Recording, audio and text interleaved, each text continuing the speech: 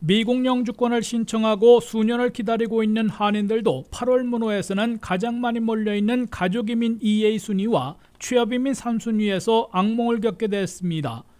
8월 영주권 문호에서는 한인들이 가장 많이 신청하고 있는 취업이민 3순위의 최종 승인일이 근 2년이나 뒷걸음하고 가족이민 2A 순위의 승인일은 무려 3년이나 후퇴했기 때문입니다.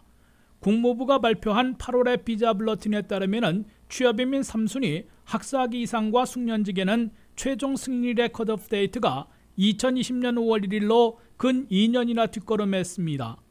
전달에 4개월에 이어 8월에는 한꺼번에 근 2년이나 후퇴한 겁니다. 다만 취업 3순위 숙련직의 접수 가능일은 2023년 5월 1일에서 제자리에서 그나마 접수는 계속할 수 있게 됐습니다.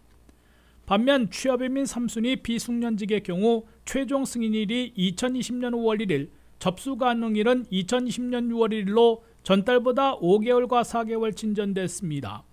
또한 석사 이상 고학력자들이 신청하는 취업이민 2순위의 최종 승인일은 2022년 4월 1일로 6조 개선된 데 비해 접수 가능일은 2022년 12월 1일에서 연속해 멈췄습니다.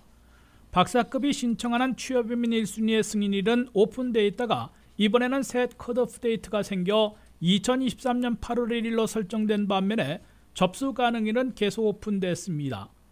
취업이민 4순위인 특별이민과 비성직자 종교이민에서도 최종 승인일이 2018년 9월 1일로 접수 가능일은 2018년 10월 1일로 전달과 같게 나왔습니다.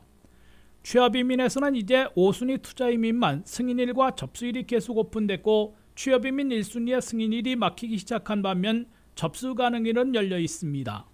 8월 문호에서는 가족이민에서도 한인들이 많이 신청하는 2A 순위의 최종 승인일이 무려 3년이나 후퇴했습니다. 영주권자 배우자와 미성년 자녀들이 대상인 2A 순위의 최종 승인일은 2017년 10월 8일로 3년이나 뒷걸음한 반면에 접수 가능일은 그나마 가족이민에서 유일하게 계속 오픈됐습니다.